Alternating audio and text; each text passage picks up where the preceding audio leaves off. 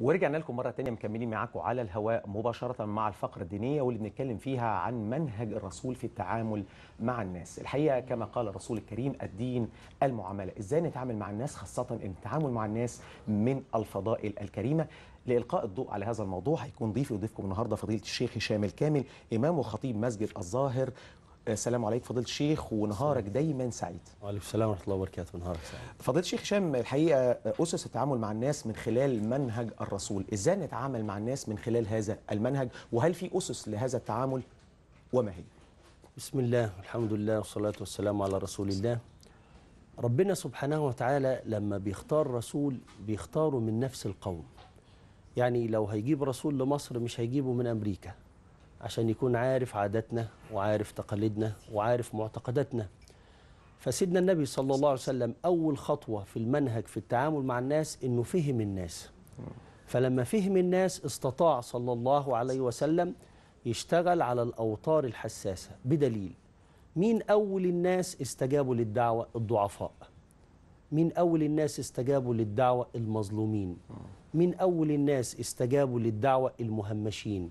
ولذلك الرسول صلى الله عليه وسلم رفع من شأن طبقة في نظر الكفار كانت وضيعة فطلعها فوق. علماء النفس بيقولوا إيه؟ الإنسان يحيا بالمدح لا بالذم ده دليل على فهم الواقع. بلال ده عبارة عن إيه؟ بلال مؤذن الرسول. ده دلوقتي وإحنا ما بنقولش بلال إحنا بنقول سيدنا, سيدنا بلال, بلال. كان عبد بيتضرب ويشتموه ويهنوه لكن سيدنا النبي صلى الله عليه وسلم رفعه. بلال مؤذن الرسول. عمرو بن العاص كان بيشتغل جزار. سيدنا النبي صلى الله عليه وسلم حوله القائد.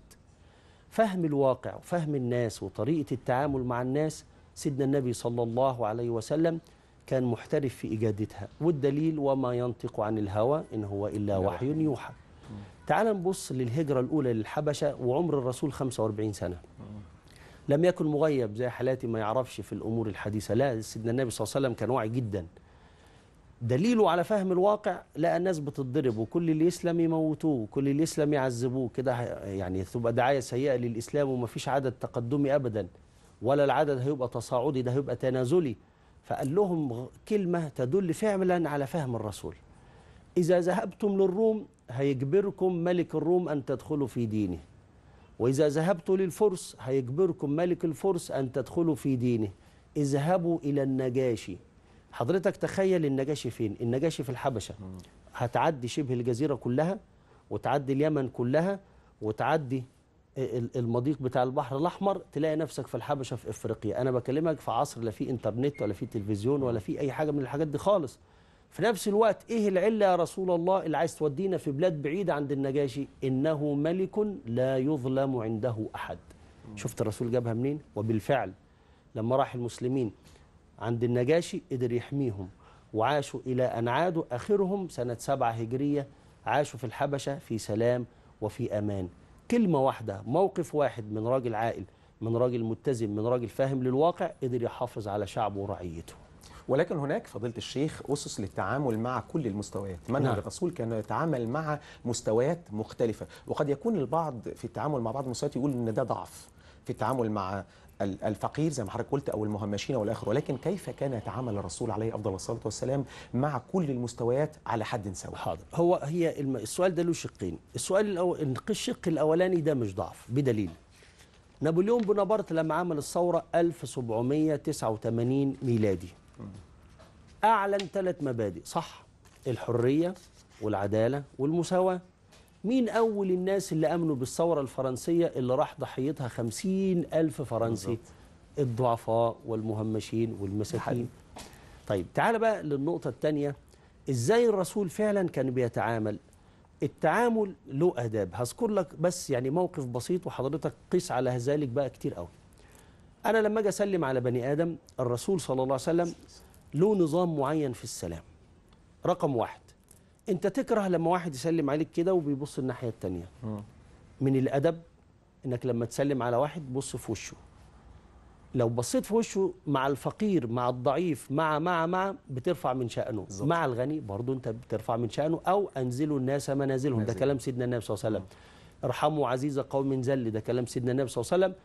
لا فرق لعجمي على على عربي على أعجمي إلا بالتقوى. شوف سيدنا النبي بيجيب من فين صلى الله عليه وسلم؟ الأفضلية في شيء كلنا نقدر نتساوى فيه. ما قالش الفضل للي بيقبض ألف وعلى اللي بيقبض 500 قال في التقوى فممكن الراجل يتقي المرأة تتقي الطفل يتقي الغني يتقي. فسيدنا النبي صلى الله عليه وسلم لما جاب الأفضلية فتحها يعني حاجة مفتوحة.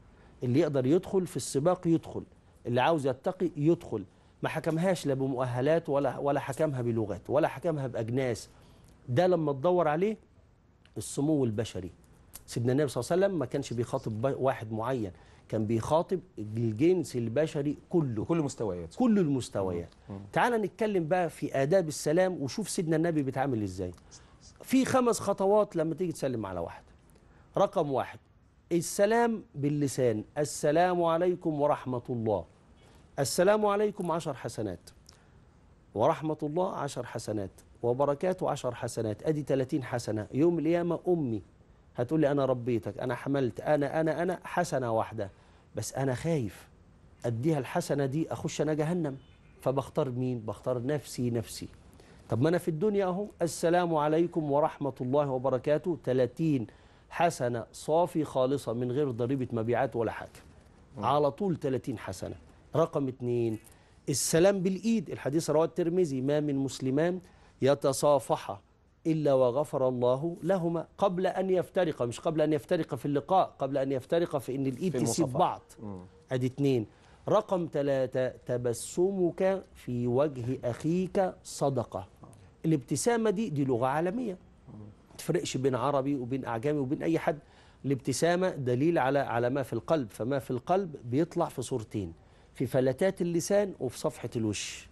فلو أنا مبسوط من حد بكلمه كويس لو مبسوط من حد بضحك في وشه.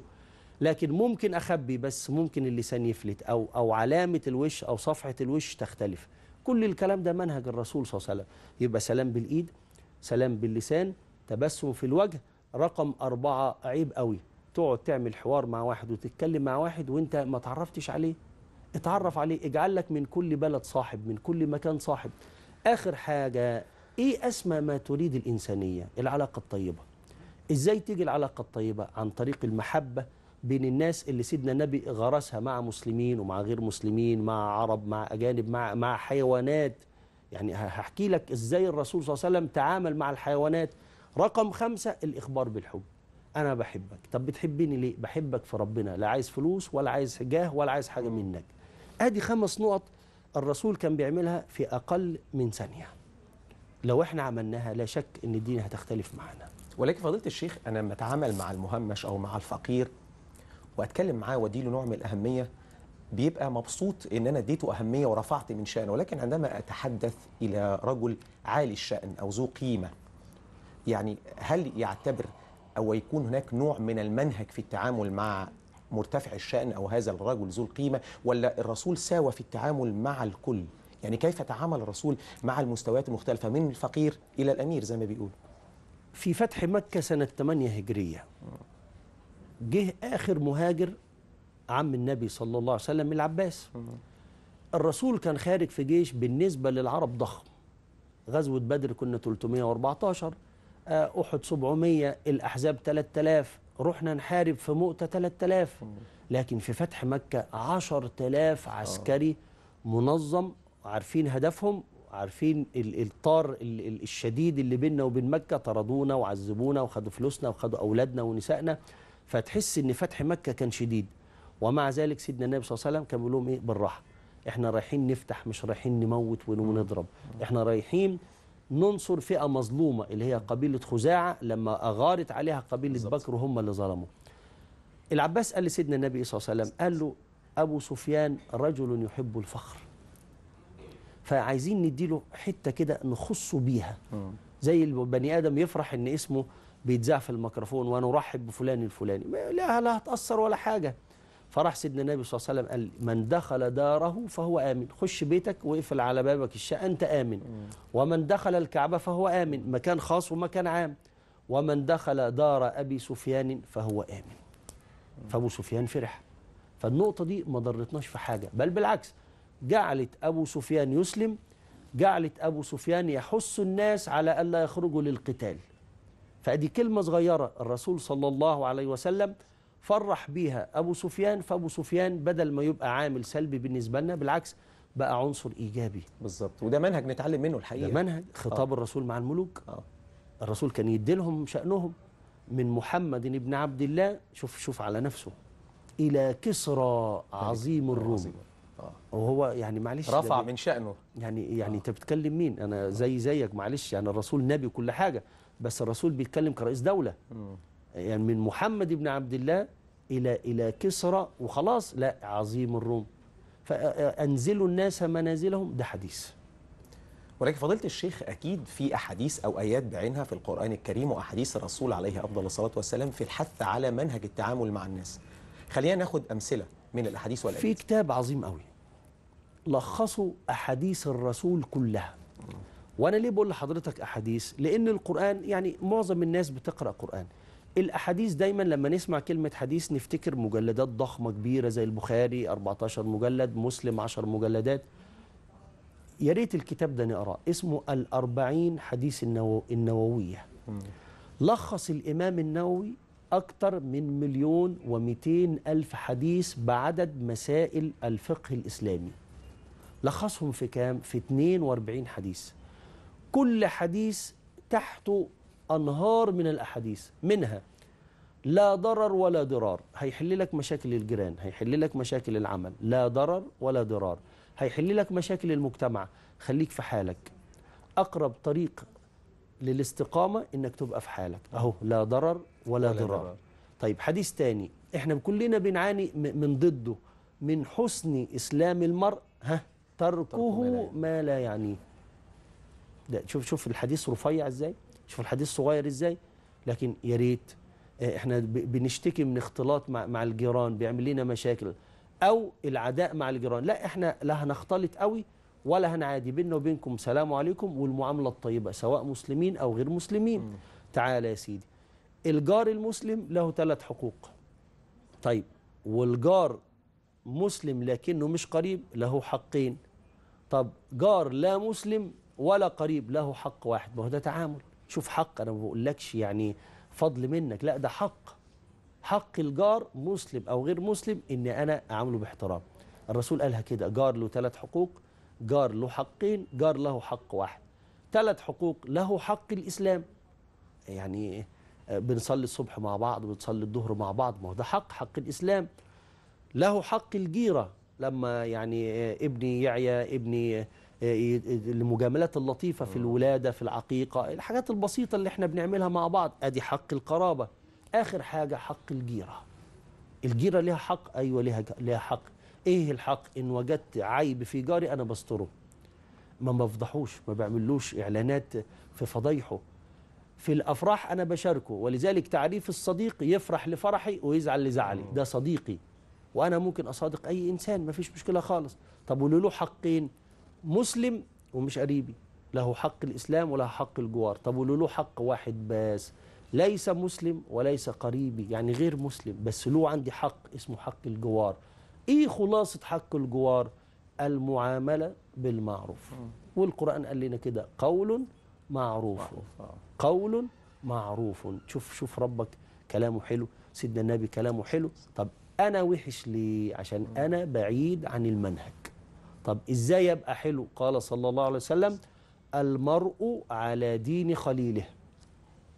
فأنا لو عاوز أبقى حلو أقلد بقى الناس الكويسين بقى. طب أجيب مين؟ لقد كان لكم في رسول الله أسوة حسنة.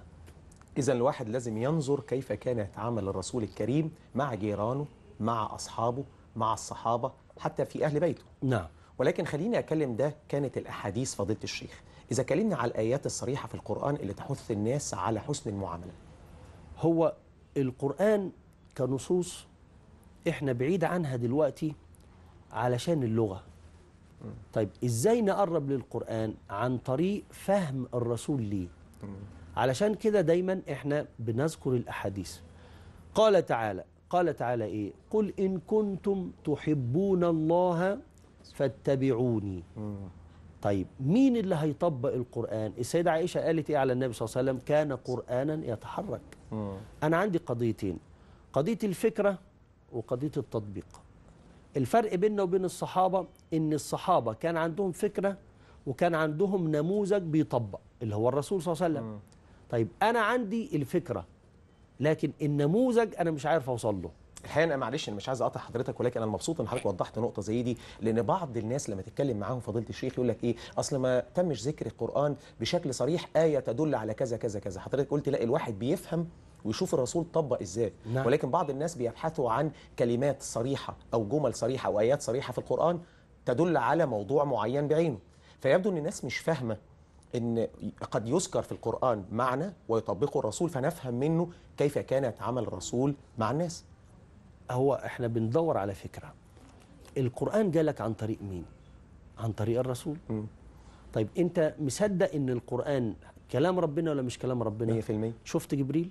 لا. ما شفتوش. امال شفت مين؟ شفت الرسول؟ أنا ما شفتوش. شفت اللي شافه. شفت اللي شافه. شفت اللي شافه. فاللي شافه اسمه صحابي. كمل تا- تابعي. كمل تابع تابعي. كمل تابع تابعي وانت ماشي. لكن إحنا القضية اللي بندور عليها لقد كان لكم في رسول الله أسوة حسنة. أي حاجة عاوز ليها دليل الآية دي تكفيك. لقد كان لكم في رسول الله أسوة حسنة. دور على الرسول. هل عمل خطأ؟ اليهودي اسمه يهودي. كان بيرمي عليه قاذورات. ثلاث أيام الراجل ما بيرميش. فالرسول بيسأل هو عقل ولا إيه اللي حصل له؟ قالوا مريض يا رسول الله. فراح زاره. لما راح زاره صلى الله عليه وسلم اليهودي برضه ذكي. ما هو يهودي. فقال له يا رسول الله دينك اللي جايبك ولا أنت جاي من إنسانيتك؟ قال له لا ديني. اللي قال لي آه، أشوف جاري. الراجل ما اتكلمش مع الرسول الراجل ما شكرش الرسول. الراجل عدى المرحلة قال أشهد أن لا إله إلا الله وأشهد أن محمدا رسول الله. اشمعنى؟ الرسول دوقه طعم الإنسانية بطريقتنا. أنت بتأذينا؟ آه بس إحنا مش هنأذيك. أدي لا ضرر ولا ضرار ولا تزر وازرة وزر أخرى. وزر أخرى. تمام. يا ريت. يا ريت. فضيلة الشيخ عايزين نربي أبنائنا منذ الصغر أو من الصغر على حسن المعاملة. إزاي؟ نربي ولادنا في كلمتين على منهج الرسول الكريم في التعامل مع الناس. طيب إحنا اولا مين اللي هيربيه؟ إذا كان الأب أو إذا كانت الأم لابد أن يكون في قدوة. يعني إيه؟ أحد السادة بيقول لي ابني الصغير بيعمل تصرفات صعبة. بيعمل إيه؟ بيزعق لأمه. ده تصرف صعب. فأنا بسأل سؤال فقلت له هل حضرتك بصراحة بتزعق لمراتك؟ قال لي آه.